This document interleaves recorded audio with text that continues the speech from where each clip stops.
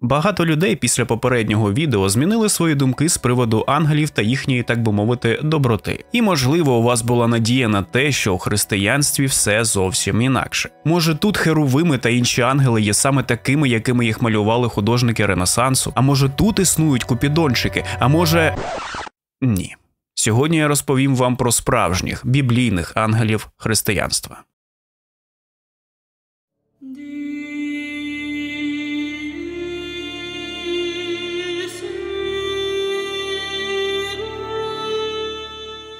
Всім привіт! Мене звати Олексій. Це канал Брудної стіни. Я теж скучив. Вітаю. Я знаю, що багато з вас чекали відео про дюну, але я таки не зміг знайти щось масивне та цікаве, про що я вам ще не розповів з того великого всесвіту. Тому пишіть, будь ласка, у коментарях свої побажання. Як ви бачите, я майже на всі коментарі реагую та відповідаю. Я все бачу.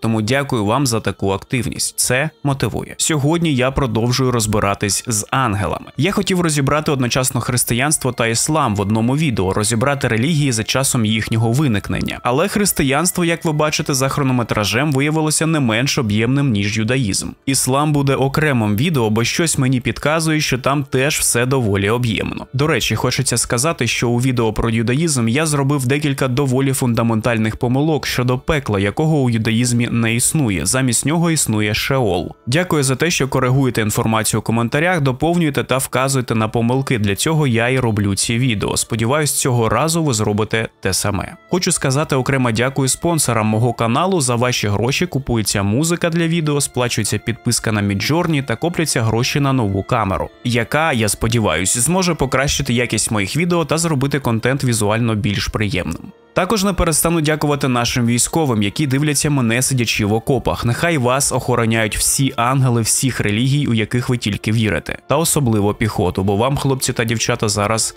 найважче. Тил з вами, я з вами, мої підписники з вами. Рвіть московитів на шматки. А зараз саме час підписатися на канал, щось написати, щось натиснути, щоб не пропустити наступне відео, бо саме таким чином ви підтримуєте український YouTube. Ну а тепер поїхали.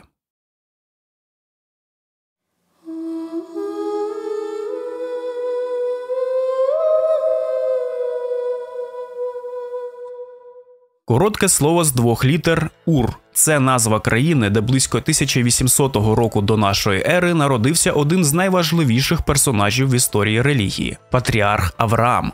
Саме він є батьком аж трьох релігій християнства, юдаїзму та ісламу. Країна Ур розташовувалася на південному сході Месопотамії. Зараз на цих землях знаходиться країна Ірак. Суспільство, у якому жив Авраам на той час, поклонялися багатьом богам, і виготовлення їхніх зображень та фігурок було непоганим бізнесом. Таким бізнесом промишляв і батько Авраама. Сам Авраам вважав це смішним та почав глузувати як з батька, так і з людей, які вважали ці фігурки священними. Чому? Бо він чув у голові голос Божий, який казав йому, що Бог єдиний. Голос йому сказав, що треба тікати з цієї місцевості, що він і зробив. Якийсь час він мандрував та опинився у місцевості під назвою Хана. Ханаан. Зараз ми називаємо ці землі Ізраїлем або Палестиною. Одного разу голос заговорив з ним знову та наказав взяти його сина Ісаака, провести його на найближчу гору і там принести в жертву. Сперечатися з Богом Авраам не насмілився, взяв сина двох слуг та пішов до підніжжя гори. Далі він наказав слугам стерегти віслюків, віддав дрова сину, та удвох вони пішли до гори під назвою Морія. Так, так, Морія.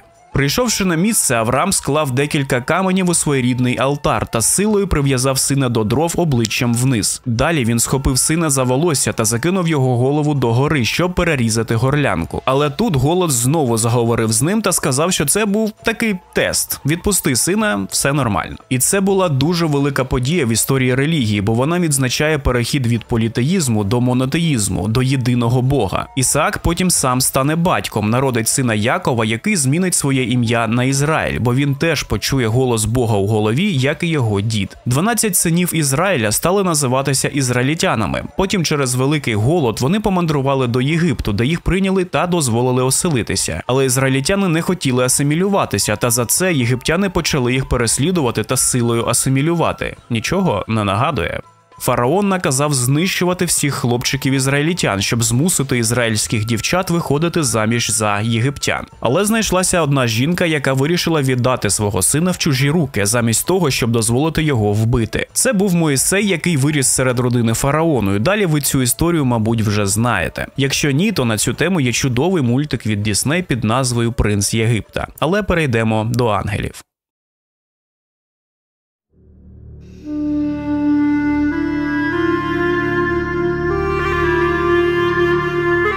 Як і у юдаїзмі, вже християнські теологи також знайшли свої ієрархії ангельських істот. Їх дуже багато, але найвпливовіша християнська ангельська ієрархія була висунута приблизно на рубежі 6 століття нашої ери псевдодіонісієм Ареопагітом у його праці «De Coelesti ієрархія. Взагалі, християнство набагато ближче роздивляється саме особистості ангелів, конкретних ангелів з конкретними іменами та задачами. Але є і аналоги з юдаїзмом, що вже не має стати для вас сюрпризом. Бо, як я й казав, всі три релігії дуже дуже пов'язані. Важливо зазначити, що цей пан псевдодіонісій стверджував про себе, що він є важливою фігурою, якою навернув у християнство сам апостол Павло. Так він користувався більшим впливом, ніж мав би, якби він використовував своє справжнє ім'я. Річ у тому, що на початку 16 століття Еразм, так так, Еразм, оприлюднив сумніви щодо віку цього твору, але саме віку, а не його сутності, це дуже важливе зауваження. Еразм Роттердамський був голландським теологом та мислителем епохи пізнього відродження. І так, хто дивилися мої мої відео про дюну вже про все здогадалися. Це не співпадіння. Хочеться нагадати, що християнство, так би мовити, вийшло з юдаїзму. Це був окремий рух в рамках юдаїзму другого храму, але дві релігії поступово розійшлися протягом перших кількох століть християнської ери. Сьогодні розбіжності у поглядах різняться між конфесіями в обох релігіях, але найважливішою відмінністю є прийняття християнами та неприйняття євреями Ісуса як Месії. Раннє християнство відзначилося тим, що визначило, що дотримання галахи єврейського закону не є необхідним для неєвреїв, які почали сповідувати християнство. Інша велика відмінність полягає в уявленнях обох релігій про Бога. Християнський Бог складається з трьох осіб однієї сутності Отця, Сина та Святого Духа. Причому особливого значення набуває вчення про втілення Сина Бога в Ісусі.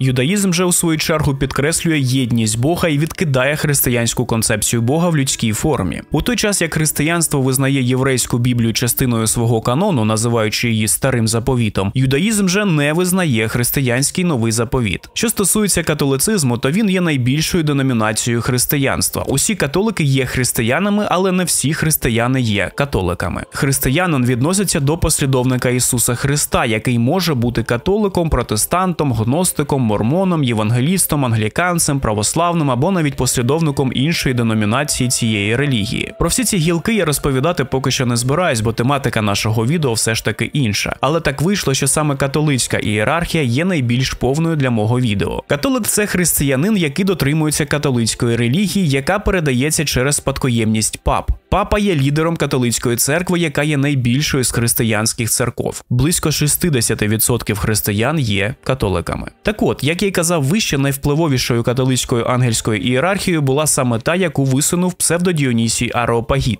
Він описав 9 рівнів духовних істот, яких він згрупував у три категорії: або чини, або лики, або сфери. Давайте її розберемо. Причому я намагатимусь додати контекст з різних деномінацій християнства, але не впевнений, що це вдасться зробити з усіма ангелами. Поїхали.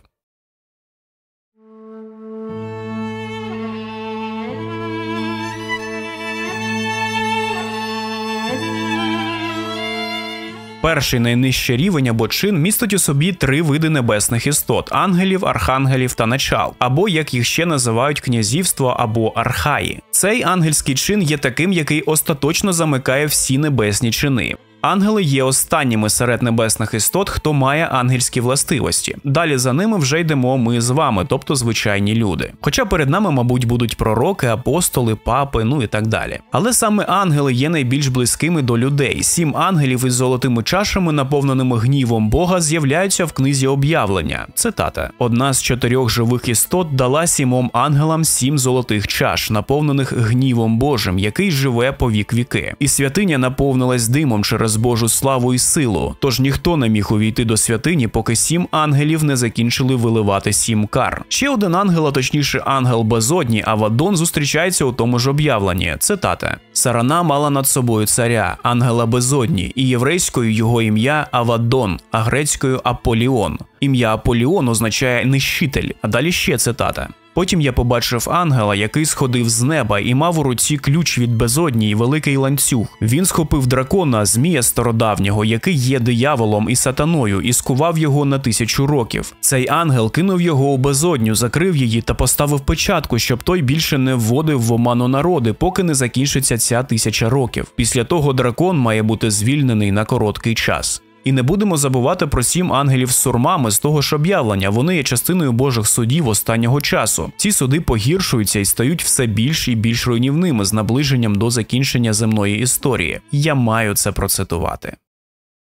І сім ангелів, які мали сурми, приготувалися сурмити. Перший ангел засурмив, і стався град та вогонь, перемішані з кров'ю, і все те вилилося на землю. Третина землі, дерев і уся зелена трава згоріли у вогні. Засурмив другий ангел, і ніби величезна гора, охоплена вогнем, упала у море, перетворивши третину моря на кров. Третина всього живого у морі повмирала, і третина кораблів була знищена. Засурмив третій ангел у сурму свою, і велика зірка, що сяяла, немов світильник, упала з неба на третину всіх річок та джерел і ймення зірки тієї полин. Тож третина води стала гіркою, та багато людей вмерло від тієї води. Засурмив у сурму четвертий ангел, і третина сонця і місяця, і третина зірок були вдарені. Третина їх згасла, і третина дня, а також третина ночі втратили своє світло. П'ятий ангел засурмив у сурму, і побачив я зірку, що впала з неба на землю, і був даний їй ключ від колодязю, що вів униз до безодні. Коли вона відімкнула криницю, що вела до безодні, звідти пішов дим, ніби диміла велетенська піч. Тоді сонце й небо почерніли від того диму. З того диму на землю попадала сарана, і сила була дана їй жалити людей, подібно скорпіонам. Сарана ж та схожа була на коней, готових до бою. На головах у неї було щось на зразок золотих вінчиків, а обличчя подібні до людських. Волосся сарани нагадувало жіноче, а зуби були як у левів. На грудях у сарани були немов би залізні панцирі, а шум її крил нагадував гуркіт колесниць, що мчать на битву, запряжені багатьма кіньми. Сарана мала хвости з жалом, як у скорпіонів, і у хвостах тих сили було стільки, щоб мучити людей протягом п'яти місяців. Царем сарани був ангел безодні на ім'я Авадон. Шостий ангел засурмив у сурму свою, і почув я голос, що линув із чотирьох рогів золотого вівтаря, який стояв перед Богом. І звернувся він до шостого ангела з сурмою: звільни чотирьох ангелів, прикутих біля річки Єфрат. Тоді чотирьох ангелів, які були на поготові, саме для цієї години, дня, місяця і року, було звільнено, щоб убити одну третину людства. Загальна кількість вершників і коней у їхньому війську налічували 200 мільйонів, і я чув це число. Сьомий ангел засурмив у сурму, й гучні голоси почулися з небес. Вони промовили: панування над світом віднині належить Господу нашому і його Христові. Він буде царювати вічно. Тоді Божий храм на небесах розкрився, і видно стало ковчег його заповіту в храмі його. Тоді спалахнули блискавиці, зійнявся шум, пролунав грім, почався землетрус і посипався великий град. Коротше, як ви бачите, доволі серйозні речі кояться в об'явленні Івана Богослова. Дуже, дуже раджу почитати. Я багато вирізав, бо цитата була б вдвічі довшою. Там безліч ангелів, які нищать людей, тварин, рослини тощо. Ангели в об'явленні є знаряддям Бога, робочою силою, яка надсилає на людство апокаліпсис. Але до того ангели є вісниками Бога, які зазвичай є доволі миролюбними зазвичай. Але зрештою про ангелів у християнстві, про їхні задачі та зовнішній вигляд я вам розповів у першому відео. Вони не дуже відрізняються від ангелів юдаїзму. Це посланці Бога, які з часом еволюціонують у дещо трішечки більше, як ви зрозуміли з об'явлення. А от з архангелами треба розібратися детальніше.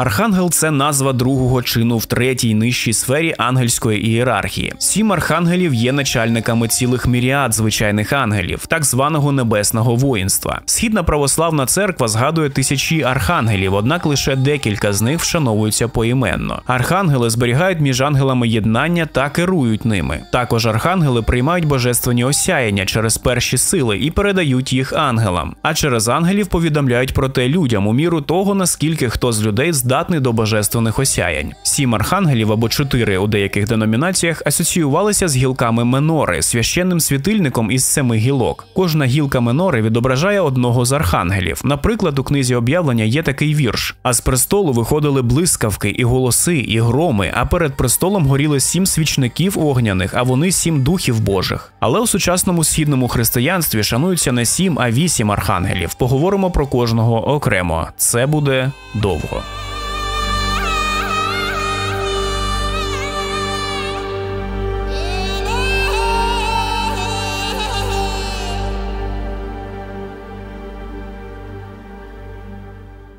Михаїл з євриту Хто є як Бог присутній у всіх трьох авраамічних релігіях. Але на даний момент відео нас цікавить саме християнство. Саме він зображений на гербі міста Київ та має свою статую на Майдані Незалежності від архітектора Анатолія Куща. Респект. В апокаліпсисі цей архангел постає як верховний командувач, як архистратиг Божого війська супроти нечистих сил, яких він все ж таки перемагає у битві. У християнській традиції він ангел-цілитель, згодом захисник, патрон вояків та лицарів, покровитель душ померлих. До речі, саме він потім зважує ці душі на терезах. Цю роль святого Михаїла зобразив Мікеланджело на стелі Сікстинської капели. На цьому зображенні ангели тримають дві книги. У меншій, яку тримає святий Михаїл, записані імена блаженних, а у більшій список проклятих, що дає нам зрозуміти, кого на цій землі більше.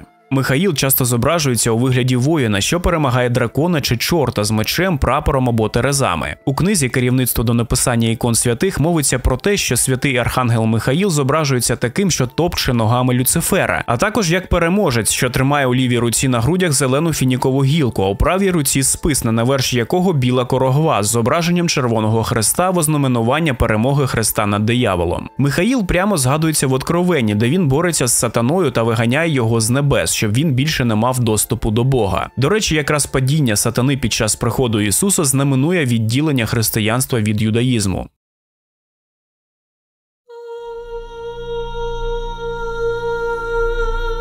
Михаїла цінували як цілителя у Фрігії, сучасна Туреччина, а найдавніше і найвідоміше святилище Михаїлу на стародавньому близькому сході також було пов'язане з цілющими водами. Це був так званий Михайліон, не Євангеліон, а Михайліон. Не переплутайте. Михайліон був одним із найперших і найвідоміших святилищ, присвячених святому архангелу Михаїлу в Римській імперії. Згідно з традицією, він був побудований у 4 столітті імператором Костянтином Великим над стародавнім язичницьким храмом. Храм знаходився на північ від Константинополя у селі Состаніон, сучасна Істін'є, на європейському березі протоки Босфор. Язичницький храм, який існував там, раніше асоціювався з цілительством і медициною, а християни продовжували асоціювати це місце розташування та й самого Михаїла з цілющою водою. Михайліон був чудовою церквою і став зразком для сотень інших церков східного християнства. Святий Єпіфаній Кіпрський у своєму коптсько-арабському шестодневі згадував Михаїла як заміну сатани. Тобто, після того як сатана пав, саме Михаїл був призначений виконувати функцію, яку виконував сатана, коли він ще був одним із благородних ангелів. Шестоднев це такий екзагетичний твір релігійно-філософського та богословського характеру, що представляє собою тлумачення перших глав книги буття.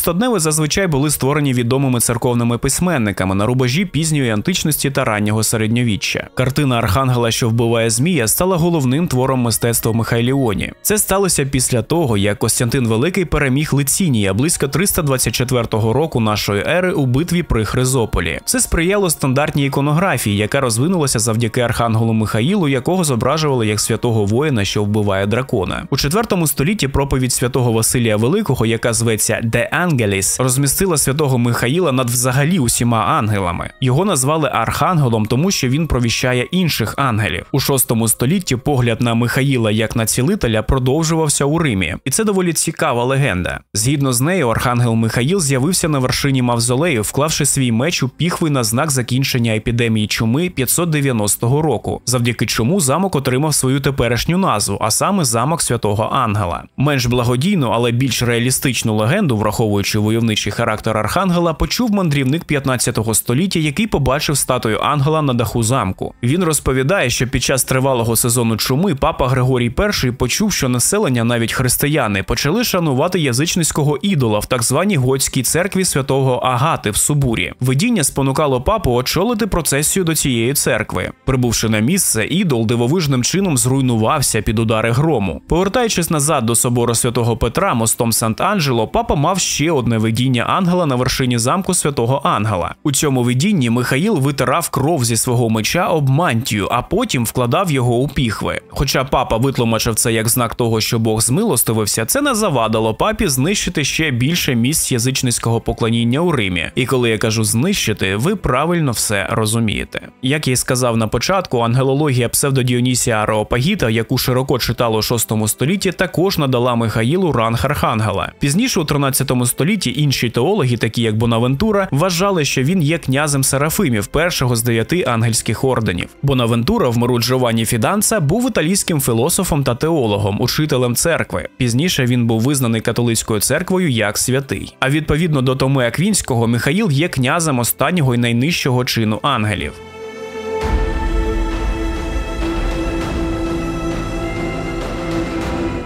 Святий Архангел Михаїл згадується у старому заповіті і є частиною християнського вчення з найдавніших часів. У католицьких писаннях і традиціях він виступає як захисник церкви і головний противник сатани, а також допомагає людям у годину смерті. Архангелами католицька традиція визнає всього трьох: Михаїла, Гавриїла та Рафаїла. У християнському мистецтві цих архангелів часто зображують разом. Наприклад, архангели Михаїл і Гавриїл разом зображені на іконі під назвою Образ Матері Божої неустанної помочі. Це візантійська ікона ікона Пресвятої Богородиці, яка протягом століть була предметом широкого католицького богослужіння. У римському католицизмі святий Михаїл виконує чотири різні ролі. По-перше, він є ворогом сатани та всіх занепалих ангелів. Він переміг сатану та вигнав його з раю, а потім він ще раз переможе сатану під час останньої битви, тобто під час апокаліпсису. По-друге, він є християнським ангелом смерті. У годину смерті святий Михаїл сходить з небес та надає кожній людині шанс спокутувати себе перед тим, як пройти далі. Третя роль святого Михаїла Михаїла це зважування заслуг людей у судний день. І нарешті святий Михаїл є опікуном церкви, всієї церкви. Відомий агіограф Албан Батлер, ще одне прізвище з Дюни, визначив роль святого Михаїла так: цитата: Хто подібний до Бога? Таким був крик Архангела Михаїла, коли він вразив бунтівника Люцифера у боротьбі небесних військ. І коли Антихрист заснує своє царство на землі, саме святий Михаїл знову розгорне прапор Христа, засурмить в останній раз, зв'яже разом лже-пророка і звіра та скине їх назавжди у палаюче озеро. Святий Михаїл є традиційним прототипом духовного воїна, парадигми, поширеної на інші інших святих воїнів. До речі, цю боротьбу зі злом іноді можна розглядати як внутрішню боротьбу. Концепція святого воїна поширилася на інших католицьких святих, починаючи з таких прикладів, як святий Юрій Змієборець та святий Теодор Терон Замасії. Святий Михаїл є улюбленим ангелом Бога, а також є ангелом-охоронцем Папи Римського. Михаїла називають покровителем і ангелом-охоронцем багатьох країн, включаючи нашу з вами. До речі, ось ця фраза Улюблений ангел Бога каже нам про те, що у Бога є якісь емоції. Святий Михаїл шанувався військовими лицарськими орденами в середні віки, а назви сіл навколо Біськайської затоки чудово відображають цю історію.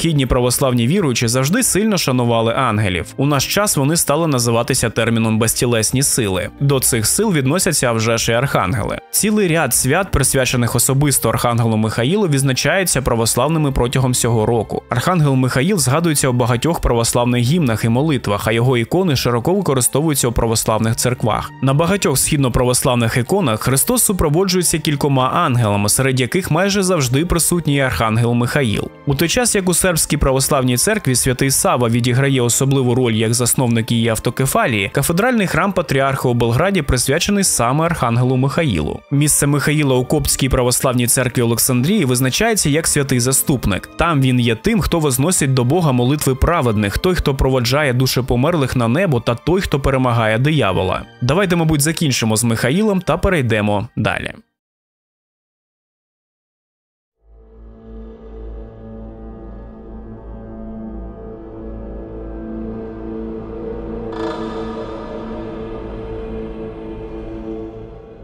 Гавриїл, дослівно з давньоєврейської пан Божий, зветься також лівою рукою Бога. Він є керівником чину херовимів, що оточують Божий престол. Гавриїл відомий також в ісламі, де він згадується на ім'я Джібріл або Джибраїл. Але про іслам поговоримо в іншому відео. Гавриїл вважається Божим вісником та посланцем, що оголошує про важливі події на землі. У новому заповіті саме Гавриїл є тим ангелом, який завіщає Захарії, що Єлисавета народить Івана предтечу. Також саме Гавриїл відвідує Марію, щоб оголосити їй про те, що вона народить Ісуса, який наречеться Сином Божим. Давайте про це трохи детальніше. Як я й сказав, перша поява Гавриїла в новому заповіті стосується саме сповіщення про народження Івана Хрестителя. Батько Івана Захарія, священик з денної черги Авія. Він не мав дітей, оскільки його дружина Єлисавета була безплідною, та й взагалі вони були доволі похилого віку. Так ось під час служіння у храмі Захарії являється ангел, щоб сповістити про народження його сина. Коли Захарія запитує ангела, хто він такий, ангел називається ім'ям Гавриїл. Цитата: під час же кадіння вся безліч народу молилася з надвору, і з'явився йому ангел Господній, ставши праворуч кадильного жартівника, і стривожився Захарій, побачивши, і острах на нього напав. А ангел до нього промовив: Не бійся бійся, Захарія, бо почута молитва твоя, і дружина твоя Єлисавета сина породить тобі. Ти ж даси йому імення Іван, і він буде на радість та втіху тобі, і з його народження багато хто втішаться, бо він буде великим у Господа, ні вина, ні п'янкого напою не питиме, і наповниться Духом Святим ще з утроби своєї матері. І багато синів із Ізраїля він наверне до їхнього Господа Бога,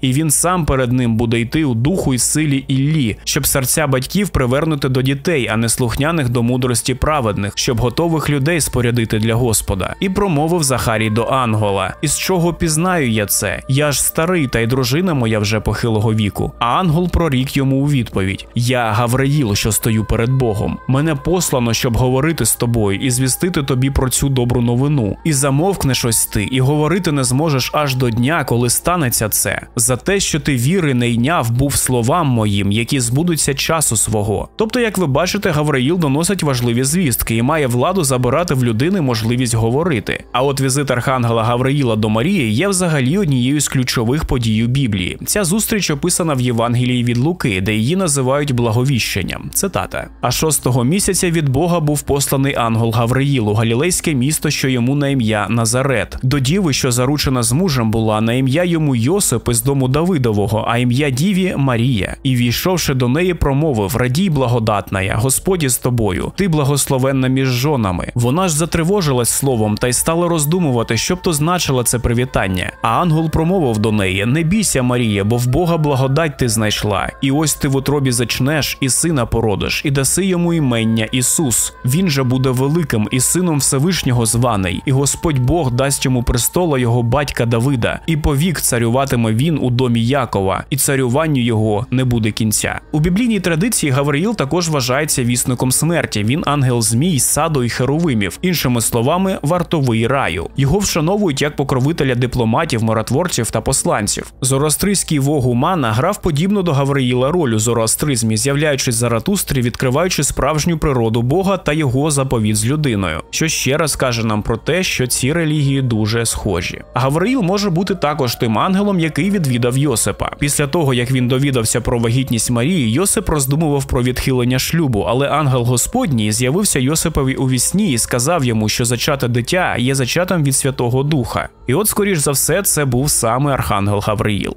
Згідно з іншою легендою, він також є ангелом у книзі об'явлення, тим самим ангелом, який сурмить, оголошуючи про початок судного дня. Папа Пій 12 оголосив архангела Гавриїла покровителем телеграфу, телефону, радіо і телебачення. Ще його вшановують як покровителя філателістів та поштових працівників. У своїй ранній праці під назвою Чотири проповіді про посланця святий Бернард Клервоський, також організатор другого хрестового походу, витлумачив ім'я Гавриїла як силу Бога, а його символічну функцію в євангельській історії як проголошення сили або чесноти Христа. На більшості східно-православних ікон Архангел Гавриїл зображений у білому або синьому одязі. Залежно від сюжету, у руках Гавриїла можуть бути сфера, жезл або спис, а також гілка, лілія, сувій або дзеркало. Це дзеркало зроблено з яшми і прикрашено буквою Х, що позначає Христа. На православних іконах Архангел Гавриїл також може бути зображений з палаючим ліхтарем, сурмою та лілією, яка являє собою Богородицю. А іноді його ще зображують з райською пальмовою гілкою, що символізує перемогу Діви Марії над смертю. Зазвичай Гавріїл зображується у вигляді юнака з крилами та німбом. Винятки становлять найперші зображення ангела у катакомбному живописі, які я показував у першому відео. Там Гавриїл представлений у туніці та палі, і немає крил, і немає німба. Зображення ж крилатих ангелів приходять до нас вже з 5 століття нашої ери. Тоді у християнському мистецтві з'явилися зображення ангелів, які були одягнені у хітони та гіматій. А у 7 столітті ангели з'являються вже у лоратному вбранні. Пишну зачіску Гавриїла підтримує стрічка, підняті кінці якої символізують готовність ангелів слухатись волі Божої. Чому я все це розповідаю? Бо ці деталі зможуть допомогти відрізнити архангела Гавриїла від інших ангелів, зокрема від архангела Михаїла, про якого я вже розповів. Таким чином, в той час як Михаїл є ватажком усіх ангелів і хранителем церкви, чия місія полягає в тому, щоб захищати Божий народ, Гавриїл служить посланником, обраним Богом, щоб сповістити людей про порятунок роду людського. Також він є ангелом ясності, чистоти та радості. Ідемо далі.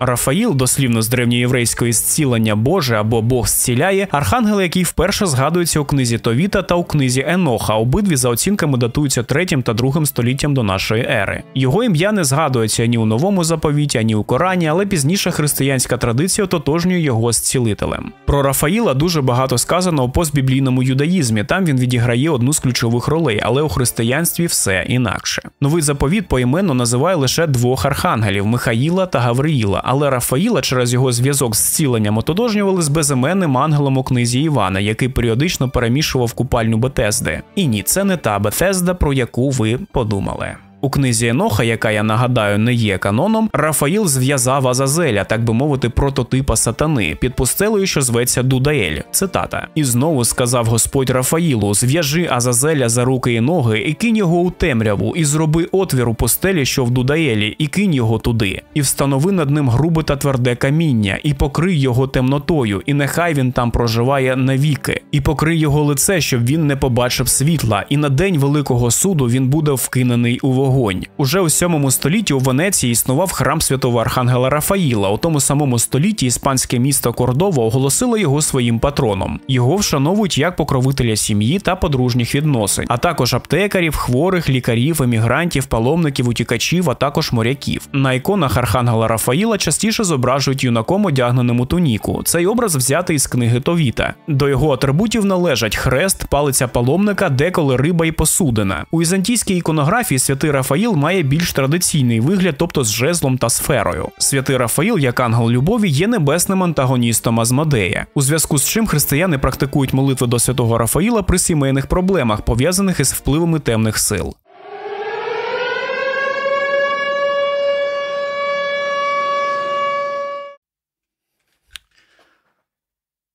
Продовжимо.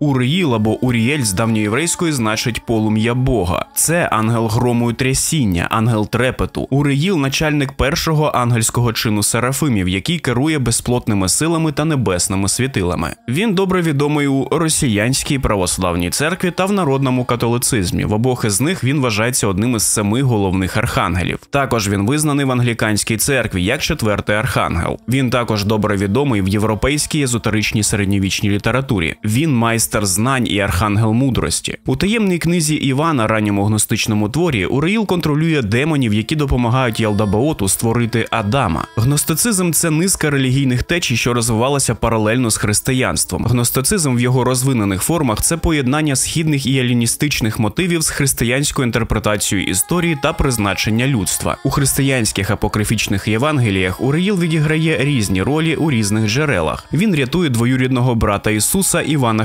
Хрестителя від різанини царя Ірода. І так, ми знаємо, що Ісус та Іван були родичами, оскільки мати Івана Єлизавета була двоюрідною сестрою матері Ісуса Марії. Також Уреїл супроводжує Івана та його матір святу Єлизавету, щоб приєднатися до святої родини після їх втечі до Єгипту. Цю зустріч зображено на картині Леонардо да Вінчі Богоматір на скелях. Уреїла часто ідентифікують як херовима та ангела покаяння водночас. Саме він стоїть біля брами Едема з вогняним мечем, що обертається, або як ангел, що перебуває поза світом та тартаром. В апокаліпсисі Петра він постає як ангел покаяння, який представлений таким же безжалісним, як будь-який демон. У Адамовій книзі, або як її ще називають книга життя Адама і Єви, Уреїл розглядається як дух, точніше як один із херовимів у третьому розділі книги буття. Під час чуми саме він перевіряв вхідні двері Єгипту на наявність на них крові ягняти. Він також веде Авраама на захід та тримає ключ від пекла під час кінця світу. Уреїл це доволі брутальний ангел, як ви можете зрозуміти.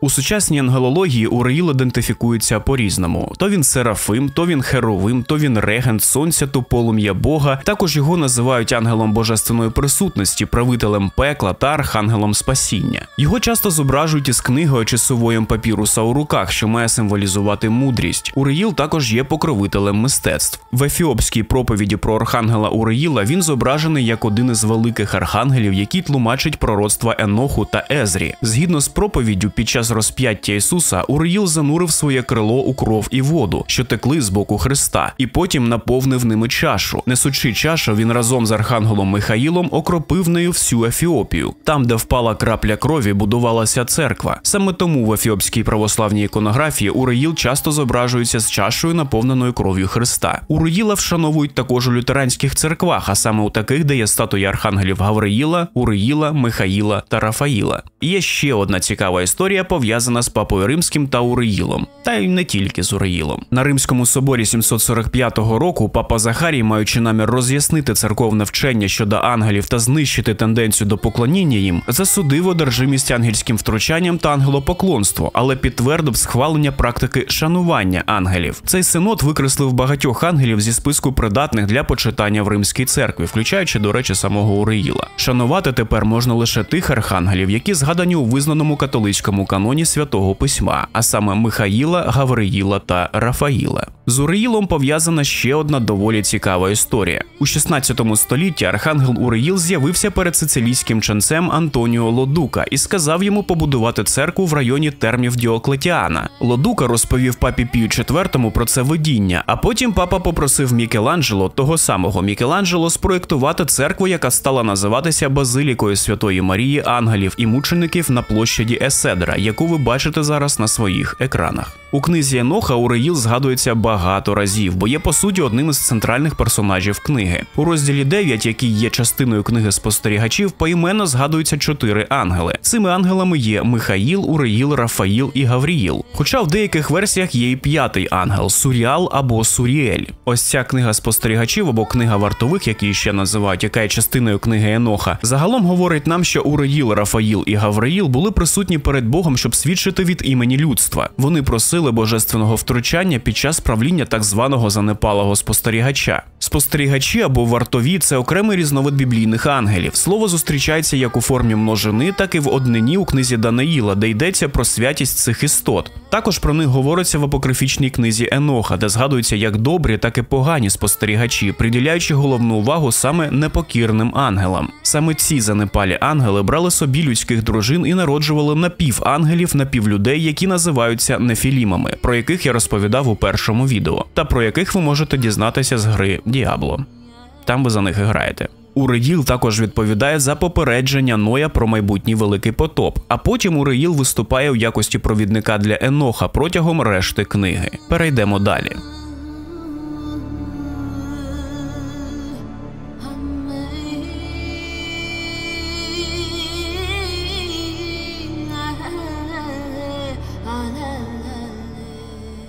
Святий архангел Селафоїл або Селатоїл один із семи архангелів у східній православній традиції та у традиційному народному католицизмі. Про цього ангела відомо не так вже й багато. Селафоїл з'являється у вірші апокрифічного християнського тексту VI століття Конфлікт Адама та Єви з сатаною, де описується, як Бог посилає його та іншого ангела на ім'я Суріель, щоб допомогти врятувати Адама та Єву від обману сатани, таким чином наказуючи Селафоїлу спустити їх з вершини гори і відвести до печери скарбів.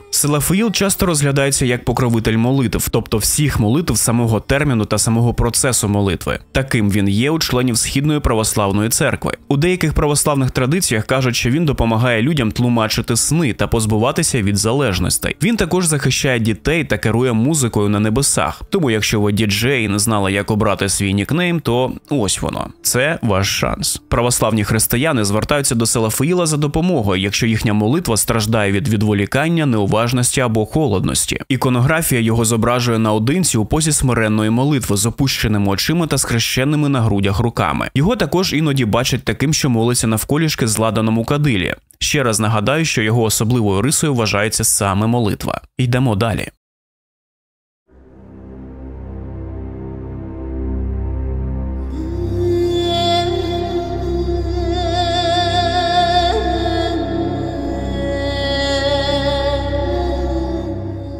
Ім'я цього архангела у Біблії та Євангелії не зустрічається, тому про нього також мало що відомо. В іконописі його часто зображують з короною та потрійним батогом у руці. Корона з одного боку означає нагороду від Бога праведникам, а з іншого боку, батіг означає сувору кару грішникам. Єгудоїл є покровителем усіх, хто працює у будь-якій сфері діяльності. А корона, яку він тримає, також символізує нагороду за успішні духовні праці. Разом зі своїми підлеглими ангелами він є порадником і захисником усіх, хто працює працює на відповідальних посадах на славу Бога, тому до нього звертаються царі, судді та інші високопосадовці. Тому, пане президенте, я знайшов його. Тепер ваша черга. Єгудаїл також відомий як носій Божої милосердної любові, а також як ангел п'ятниці. Що стосується історії імені Архангела, вважається, що воно вперше згадується в неканонічній книзі Еноха. Невдовзі після цього, залежно від національності перших християн, його й назвали Єгудаїл. Також Єгудаїла вважають тим ангелом, якого Господь обіцяв послати Ізраїль ізраїльтянам у пустелі для того, щоб той довів їх у землі ханаанські, але це все ж таки припущення.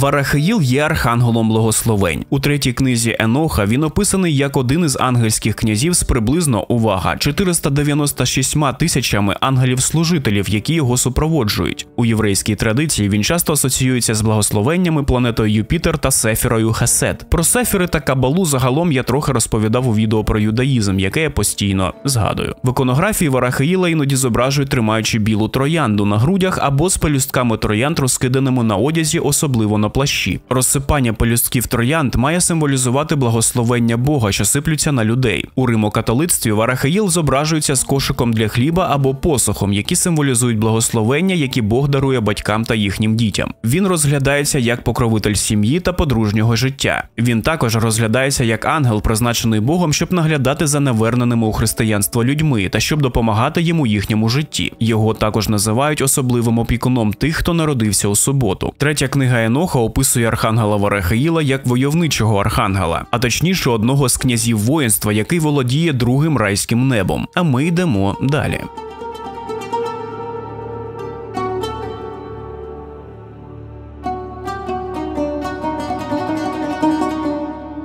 Єврейське ім'я Єремеїл з івриту означає Бог помилує. Він декілька разів зустрічається у п'ятикнижі та у книгах ранньохристиянського періоду. У дохристиянську епоху Єремеїл описується як дуже суворий ангел. Він згадується у розділі 20 книги Еноха як Раміель, один із семи святих ангелів, яких Бог послав до тих, хто мав воскреснути. Пізніше у християнській теології він був поставлений керувати Шеолом, єврейським підземним світом. А якщо точніше, то лоном Авраамовим регіоном Шеолу майже ідентичним ідентичним за концепцією грецького уявлення про Елізіум. У Біблії лоно Авраамове це вираз, що позначає місце спочинку праведників у потойбічному світі. Іноді воно трактується як частина пекла, де перебували праведники до зішестя туди Ісуса Христа. І так, Ісус Христос теж був у пеклі. Так зване зішестя Христа у пекло це подія, що відбулася у період після розп'яття, але перед Воскресінням. Під час свого тріумфального сходження у пекло Христос приніс спасіння душам, ув'язненим там від початку світу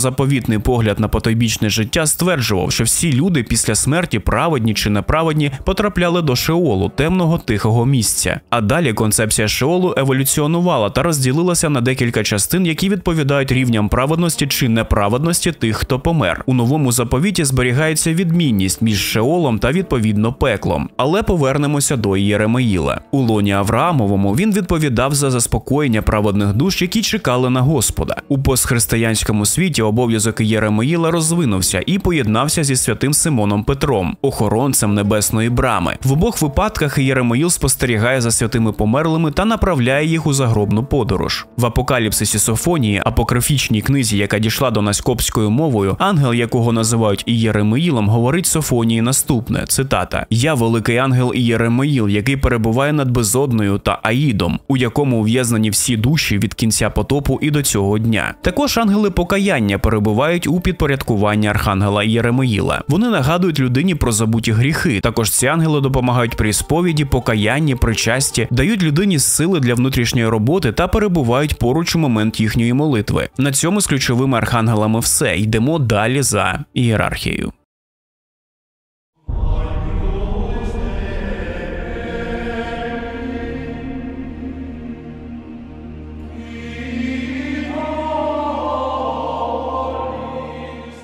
Князівство з латинської принципатус, начала або як їх ще називають архаї, це перший клас третього ангельського чину. Начала зображаються з короною на голові та такими, що несуть скіпетр. Їх обов'язком також є виконувати завдання, дані їм пануваннями, які йдуть далі у нашому списку. Вони також мають звіщати благословення у матеріальний світ. Вони є педагогами і хранителями царств земних. Вони впливають на стихії природи, а також відповідальні за натхнення усіх живих істот до своїх талантів, наприклад, мистецтва мистецтва чи науки. Начало це також ангели, які скеровують та захищають цілі нації або групи народів, а також релігійні інституції, такі як церква. Вони очолюють групи ангелів і доручають їм виконувати божественне служіння. А прикладом архая, який став предметом культу, є ангел Португалії. Річ у тому, що східна стіна каплиці у монастирі Баталія, будівництво якого почалося в 1386 році, мала вівтар, присвячений окремо ангелу-охоронцю Португалії. У 1504 році на прохання португальського короля Мануеля І папа Юлій II створив ціле свято на честь цього ангела. Культ ангела-охоронця у Португалії значно занепав після 17 століття та був офіційно відновлений у 1952 році. А саме свято було внесено до португальського літургійного календаря папою Пієм XII. Є ще одна цікава історія пов'язана з цим ангелом. Троє дітей, а саме Лусія Дос Сантос та її двоюрідні брати Франциско та Жасміна Марто стверджували у далекому 1917 році, що пережили низку об'явлень Пресвятої Богородиці, і далі додали, що цей ангел з'являвся перед ними тричі у 1916 році і назвав себе ангелом миру. Хочеться додати, що ангела Португалії іноді ідентифікують як архангела Михаїла, але це трохи суперечить ієрархії, хоча їх там безліч, тому чому ні?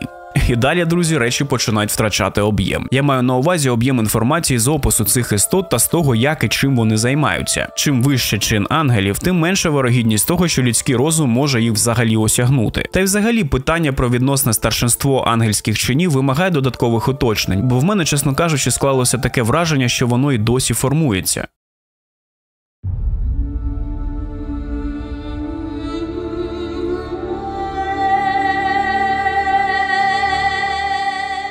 У новому заповіті чин під назвою влади згадується у посланнях апостола Павла до Колосян. Цитата: бо то ним створено все на небі і на землі, видиме і невидиме, чи то престоли, чи то панування, чи то влади, чи то начальства, усе через нього і для нього створено. Як бачите, тут згадані не тільки влади, але й престоли, сили тощо. А ось ще одна цитата Павла: він посадив Христа вище всіх правителів, влади, сили і царів, вище будь-якого звання, що може бути присвоєне, і не лише в наші часи, а й у майбутньому. Хочеться відзначити, що саме ареопагітики є першою з праць, яка надала найбільш розвинений вигляд дев'ятичинної ангельської ієрархії. Але разом з тим у двох інших розділах книги, де потрібно назвати повний склад тріади, порядок перерахування елементів так само неоднаковий. У шостій главі ареопагітиків йде такий перелік: влади, панування і сили. А от глава 9 вже каже наступне: панування, сили і влади. І ось ця невідповідність вимагала від богословів додаткових уточнень, які згодом були викладені у коментарях до ареопагітиків. Згідно з коментарями, вся друга, тобто середня тріада, носить загальну назву божественних або богопричасних. При її описі Діонісій перед кожним ім'ям чину пише святий, таким чином зайвий раз підкреслюючи, що мова йде про особливі святі влади, святі панування та святі сили. А їхній порядок, тобто порядок їхніх чинів, й досі не дуже відомий. Ну або це я не знайшов, тому пишіть у коментарях, хто в темі.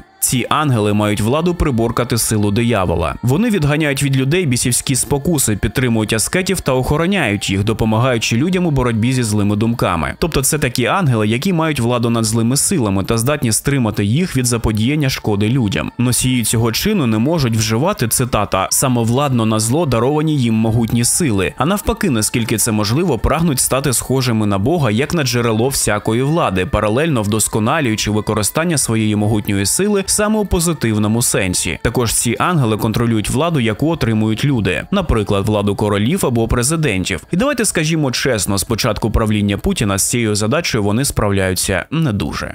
Ще цікавий момент є у тому, що у сучасному розумінні ієрархічних категорій обидва поняття сили та влади відповідають тому самому чину. Але що можна додати про сили? З владами ми начебто розібралися, тож навіщо церкві дві різні назви для одного й того ж? Так от, згідно з деякими джерелами, сили є носіями совісті і хранителями історії. Вони також є войовничими ангелами, створеними, щоб бути повністю вірними Богу. Деякі вважають, що вони ніколи не відокремлюються від Божої благодаті, але інша точка зору говорить, що сатана сатана був керівником сил, перш ніж він став занепалим ангелом. Обов'язок сили та влади полягає в спостереженні за розподілом влади всередині людства, звідки й походить їх назва. Ось як Діонісій Ареопагіт описав сили влади та господства у восьмому розділі свого твору Небесна ієрархія. Святі сили означають деяку могутню і непереборну мужність по можливості їм надану, що відображається у всіх їхніх богоподібних діях. Ця мужність існує для того, щоб віддаляти від себе все те, що могло б зменшити та послабити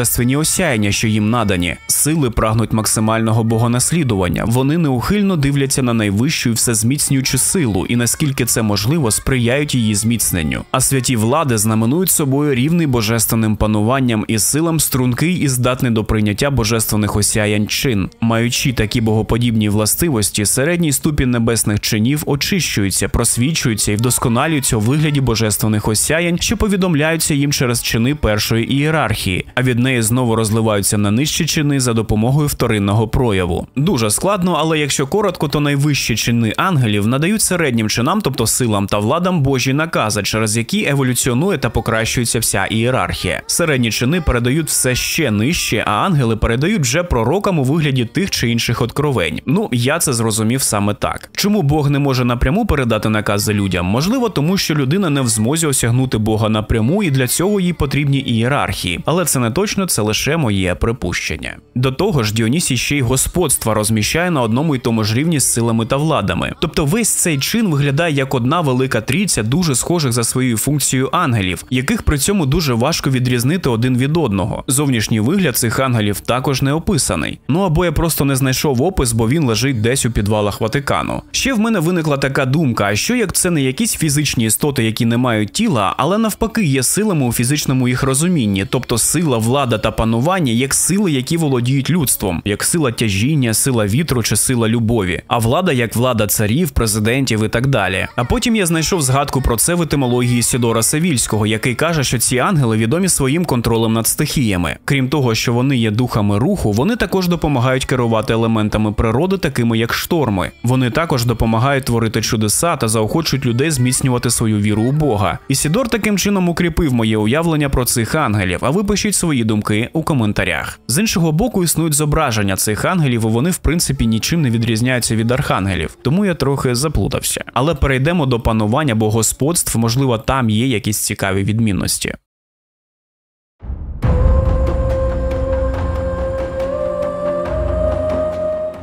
Домініонів або панувань традиційно використовують для керування рухом зірок, планет та інших небесних об'єктів. Надзвичайно рідко ці володарі ангели відкривають себе людям фізично. Вони наставляють поставлених від Бога земних володарів мудрому керуванню. Домініони вчать володіти почуттями, приборкувати гріховні прагнення, поневолювати плоть духу, панувати над своєю волею та перемагати спокуси. У новому заповіті панування згадує у своїх посланнях апостол Павло, якого я цитував вище. Тобто, знову ж таки, панування Господь господство або домініони входять до цієї трійці ангельських істот, яку я дійсно не можу описати. Це реально схоже на якісь стародавні сили, які рухають планетами, королями, президентами та протистоять темним силам. Григорій Богослов ставить панувань на четверте місце при перерахуванні дев'яти ангельських чинів після ангелів, архангелів та престолів. Сам святитель писав, що ангели опромінюються першим світлом, переданням якого вони можуть просвітлювати інших. І на цьому інформація про панування або домініонів вичерпана. А ми переходимо до найвищого рангу ангелів.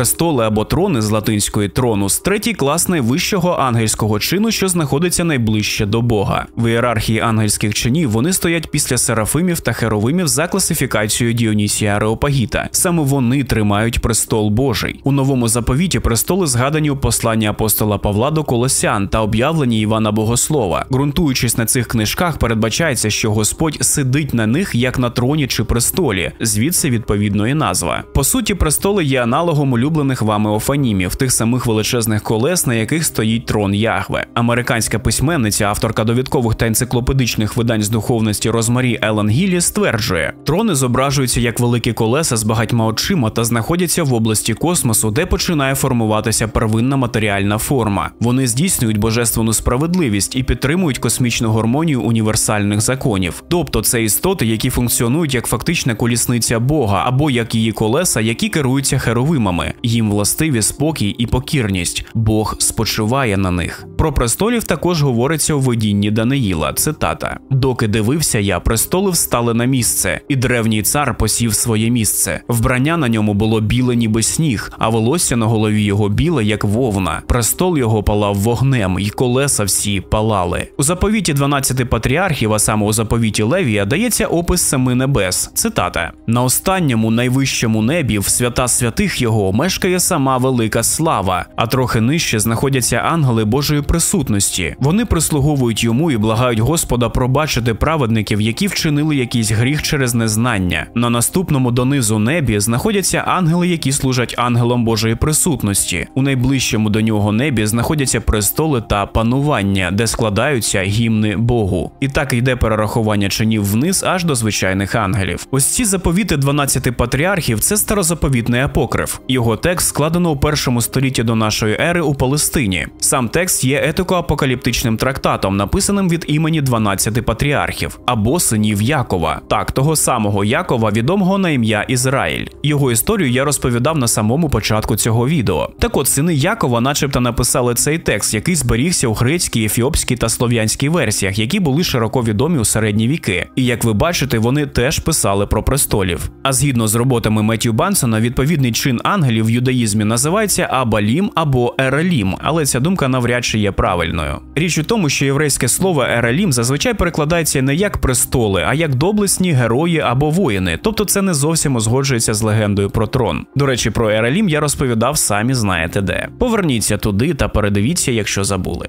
До речі, престол слави або Божий престол в авраамічних релігіях це те місце, де Бог проявляє свою велич та славу. У православних храмах престолом Божим називається піднесене місце посеред вівтаря. На цьому місці сам Господь завжди таємничо та мовчазно присутній серед віруючих під час служіння. У цьому вигляді престол існує майже у всіх релігіях. Перейдемо до херовимів, про яких ви вже і так все знаєте.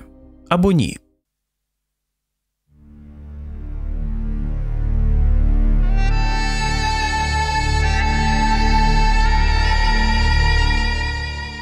Так, в мене є цілий величезний розділ про херовимів у юдаїзмі. Тут дуже все схоже. Християнське богослов'я спочатку не мало певної думки щодо природи херовимів. Їхні думки розділилися у питанні, чи є вони істотами або всього лише символами та образами, через які можна було б трактувати ті чи інші дії Бога. Як ви знаєте, херовими купу разів згадуються у єврейській біблії, але згадуються всього лише один раз у новому заповіті, і навіть не у Євангеліях, а у листі Павла до євреїв. Цитата: а зверху над ними херовими слави, що крильми отінювали віко. Це є посиланням на ковчег заповіту, про який я теж розповідав, а точніше на його золоту кришку. Так званий капорет це золоте віко, яке розміщене на кришці ковчегу. Ось що каже про це єврейська книга виходу. І зробиш віко зо щирого золота, два лікті й пів довжина його, і лікоть і пів ширина його, і зробиш два золоті херовими. Роботою кутою зробиш їх з обох кінців віка, і зроби одного херовима з кінця звідси, а одного херовима з кінця звідти. Від того віка поробите тих херовимів на обох кінцях його, і будуть ті херовими простягати крила догори і затінювати своїми крильми над віком, а їхні обличчя одне до одного. До віка будуть обличчя тих херовимів, і покладеш те віко згори на ковчега, а до цього ковчега покладеш свідоцтво, яке я тобі дам. Клемент Олександрійський називає херовимів піснесловними духами та додає цитата: ім'я Херовима означає велике знання. Разом херовими мали по 12 крил, як 12 знаків зодіаку і хід часу, що визначається ними. Зображення херовимів має символічне значення. Їхній лик є символом душі, а крила служіння. Хочеться додати, що у той час люди реально вивчали астрологію, тобто вони реально вважали, що знаки зодіаку впливають на життя людей та хід часу. З іншого боку, здається, що з бронзової доби нічого не змінилося. У четвертому столітті виникає та поширюється вчення про те, що херовими все ж таки є духовними істотами, які володіють певними ознаками. Іван Золотоустий дав таке поняття херовимів, що стало традиційним для християнства аж до закінчення епохи Вселенських соборів. Цитата: Херовим означає не що інше, як повну мудрість. Ось чому херовими повні очей, спина, голова, крила, ноги, груди все сповнене очей, тому що премудрість дивиться крізь, має всюди відкрите око. А ось ці вселенські собори й досі існують. Вони є зборами переважно єпископату християнської церкви, на яких обговорюються питання і виносяться рішення догматичного, церковно-політичного та судово-дисциплінарного характерів. Тепер я хочу дещо сказати. Я знаю, що це відео про християнство, але так як усі три авраамічні релігії дуже тісно з собою пов'язані, я хочу навести ще раз мою улюблену цитату з Єзекиїля, на точніше дві. Це цитата, але в трішечки іншому перекладі, ніж у першому відео. Більш складний для читання переклад це точно. З посеред нього з'явилось щось, немов подоба чотирьох тварин, що нагадували людські подоби. У кожного було чотири обличчя, і в кожного було четверо крил. Ноги в них були прямі, а стопи ніг, як стопи у теляти, і блищали вони, немов гладенька мідь. Під крильми в них з чотирьох боків були людські руки, обличчя в них і крила в них у всіх чотирьох, а крильми торкались вони одне одного. Обличчя них і крила в них не обертались, як вони йшли. Кожне просувало перед себе. Подоба облич їхніх була спереду людське лице у всіх чотирьох, провобіч левине лице у всіх чотирьох, ліворуч бичаче лице у всіх чотирьох, ззаду орлине лице у всіх чотирьох. Крила їхні були випростані догори. Кожне мало по двоє крил, що торкались одне одного, а двоє вкривали тіло. І друга цитата: видом же всі четверо були однакової подоби, так ніби одне колесо було у другому. Як вони йшли, то йшли на чотири свої боки. Ідучи, вони не обертались, бо вони йшли туди, куди була звернена голова. Тож Тож ідучі не обертались. Тіло ж у них усе, і спина, і руки, крила, і колеса були по всьому колу повні очей, по всіх чотирьох колесах. Колеса ж ці, як я чув, називано галгал. У кожного з них було чотири обличчя: лице в одного лице херувима, лице другого лице людини, у третього лице лева, а у четвертого лице орла. І херувими знялись угору. Це були ті живі істоти, що я бачив при Кевар річці. Як ішли херувими, то йшли і колеса коло них. І як херувими простягали крила, щоб знятись над землею, то й колеса збоку не відвертались від них. Як вони зупинялись, то й колеса зупинялись. А як вони здіймались угору, то й колеса здіймалися з ними, бо оживляючий дух був у них. Блін, дуже круто. Тому хто вважав херовимів за отих малих купідонів, ви дуже сильно помилялися. Але повернемося до теми. Теодор Студит називає херовимів найкращими з усіх і найближчими до Бога. Нагадаю, ми зараз вже про християнство. У євреїв все зовсім інакше. Таку думку студита підтримують католицькі богослови, такі як Тома Аквінський, а також протестантські, такі як Кейль. А ось що пише про властивості херовимів головна фігура нашої ієрархії псевдодіонісій Ареопагіт. Цитата: найменування ж херовимів означає їхню силу, силу знати і споглядати Бога, здатність сприймати вищий світ і споглядати божественну благоліпність при найпершому її прояві. Мудре їхнє мистецтво викладати і повідомляти рясно іншим, даровану їм самим мудрість. У традиційній християнській ангелології, не у херовими вважаються ангелами другого найвищого рангу небесної ієрархії. А знайома вам декоелесті ієрархія перераховує їх разом із серафимами та престолами. Як я розповідав у першому відео у західному мистецтві, херовими асоціювалися з Путто та греко-римським богом Купідоном, або як його ще називають Еросом, тобто із зображенням маленьких пухких крилатих хлопчиків. Художні зображення херовимів у ранньохристиянському та візантійському мистецтві іноді розходилися з описами у Біблії. Найдавнішим відомим зображенням правильних, тобто тетраморфних херовимів, є мозаїка апсиди 5-6 століття, знайдена у монастирі Латомос, і це дуже цікава церква. У 1921 році під шаром тиньку виявлено мозаїку кінця 5-го, початку 6-го століття з постаттю молодого Христа у центрі композиції, що тримає совій із словами: Це наш Бог, що на нього ми мали надію, і він спас нас. Це, до речі, цитата з Ісаї. За однією з версій на ній зображено видіння Єзекиїля, а за іншою мозаїка прославляє Христа як джерело живої води. Христос зображений сидячи на напівкруглій кольоровій арці з молодим безбородим і серйозним обличчям. У чотирьох кутах від нього розташовані символічні зображення чотирьох звірів. Під ногами Христа зображені річки Едема, Фісон, Гекон, Гідекель і Єфрат, що впадають у Ховар. На його берегах симетрично зображені фігури здивованого Єзекиїля та пророка Авакума. А за іншою версією апостола Петра та апостола Павла. Ця мозаїка є об'єднанням всього, а саме видінь язики Їля, Серафимів Ісаї та шестикрилих створінь з об'явлення. Цікавий факт, що херовими зображуються в іконографії, як правило, блакитним кольором. Можливо, це пов'язане з кольором неба, але це моє припущення. У той же час Йосип Флавій категорично відмовляється пояснити, як стародавні євреї зображували херовимів у храмі. За його словами, цитата, вони мали такий вигляд, якого ніхто ніколи не бачив, ніхто не міг пояснити, що вони зображували. Коротше, про тетраморфних херовимів з чотирма обличчями я розповідав дуже багато у першому відео, тому повторюватись не буду. А ми переходимо до найвищої істоти перед Богом у християнстві.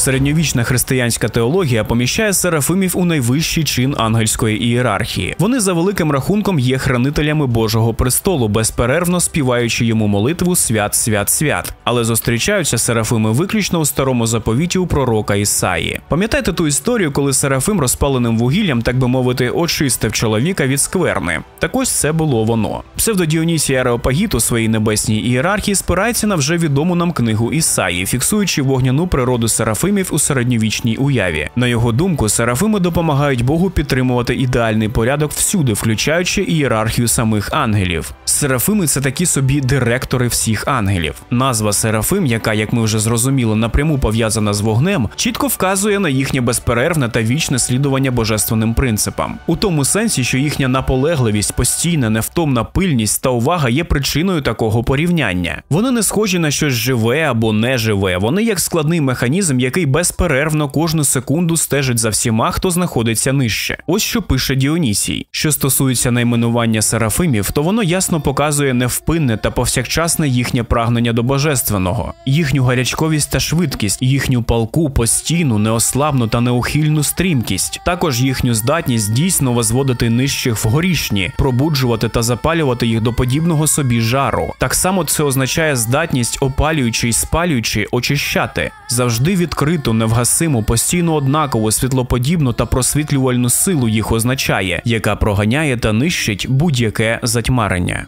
А от Оріген писав у своїх трудах, що Серафими у книзі Ісаї взагалі є фізичним відображенням Христа та Святого Духа. Далі він додає, що ніщо не може повністю знати початок всіх речей та їх кінець, окрім Бога. А вже ж. Оріген завершує цей розділ, описуючи Серафимів як істот, яким відкрито знання про Бога, тобто вони здатні пізнати Бога, хоча й частково, що підносить їхню роль до майже божественного рівня. Цитата: незважаючи на те, чого б ці сили не навчилися через откровення Сина Божого та Святого. Святого Духа, вони безсумнівно зможуть здобути багато знань, а вище набагато більше ніж нижче. Все ж це їм неможливо все осягнути, бо написано більша частина Божих діл таємна. До речі, зверніть увагу, що Оріген називає їх також силами. Тобто, як я казав раніше, це не щось живе або не живе, це сила як гравітація або як сила, яка утримує всю цю ієрархію у купі цілу вічність і ніколи не втомлюється. Ще ця цитата Орігена свідчить про те, що він вірив, що Серафимам було відкрито більше знань через їхніх статус помазаника Сина Божого та Святого Духа. Заклавши основи християнського богослов'я, Оріген, однак, не уникнув істотних помилок. Він визнавав так зване передиснування душ, можливість спасіння всіх грішників та, що цікавіше, навіть демонів. Ці помилки стали причиною того, що пізніше Орігена двічі було засуджено як єретика. Вперше за часів правління імператора Юстиніана у 543 році, а потім ще раз на соборі Константинополі у 553 році. Однак це не завадило його теорії про серафимів з'явитися в інших ранньохристиянських трактатах. Взагалі, оцей Оріген дуже цікава особистість, дуже раджу про нього прочитати. А от Тома Аквінський у своїй сума теологіка пропонує наступний опис природи серафимів. Цитата: ім'я Серафим походить не просто від милосердя, але від його надлишку. Саме це й виражається у вигляді вогню. Далі вже Діонісій Ареопагіт пояснює назву Серафим та розглядає у вогні три речі: по-перше, вогонь це безперервний рух вгору, а це означає, що серафими непохитно тягнуться до Бога. По-друге, сила, якою є тепло, зустрічається не тільки у вогні. Тепло або жар має проникаючу дію і досягає навіть найдрібніших речей. Дуже схоже на тип влади та сили цих ангелів, яка чиниться на тих, хто їм підвладний, при цьому пробуджуючи їх до такого ж запалу та повністю очищуючи їх своїм жаром. Тобто це сила через вогонь, підкорення та керування через вогонь. По-третє, у вогні ми розглядаємо світло, яскравість, що означає, що ці ангели мають у собі незгасне світло, і що вони також досконало просвічують інших. Також серафими прикривають крилами свої обличчя, щоб не бачити лик Бога, і роблять вони це непримусово. Таке ось цікаве трактування від Діонісія. Також Діонісій каже, що образ серафимів може йти корінням до існуючих раніше духовних істот родом з сирійських міфів, що датувалися першим тисячоліттям до нашої ери. Про це розповідав у першому відео, і скоріш за все, саме звідти з усіма першими уявленнями про ангелів серафим мігрував до юдейського та християнського світу. А от християнська теологія розвинула ідею серафимів як істот, зроблених з чистого світла, та таких, що насолоджуються прямим спілкуванням з Богом, тобто такі, що мають у собі почуття, почуття, які жодна людина не може собі навіть уявити. Ну а на цьому все. Вже я щось упустив, десь зробив неправильні висновки, але я хочу розібратись. Людина вчиться та розуміє щось нове тільки крізь працю та пошуки істини. Дякую, що додивилися до кінця. Щось пишіть, щось тисніть та підтримуйте таким чином український YouTube. Якщо вам сподобався контент, та ви хочете підтримати мене чи цей канал, то у вас є можливість стати спонсором тут на YouTube або зробити внесок на платформі BuyMeACoffee. Усі посилання, як завжди, є в описі до цього відео. Ну а з вами був я, Олексій, та канал Брудної Стіни. І пам'ятайте, на гербі нашої столиці Архангел Михаїл а це багато що значить. Ну і як завжди, мирного вам неба та смерть російським окупантам. Peace.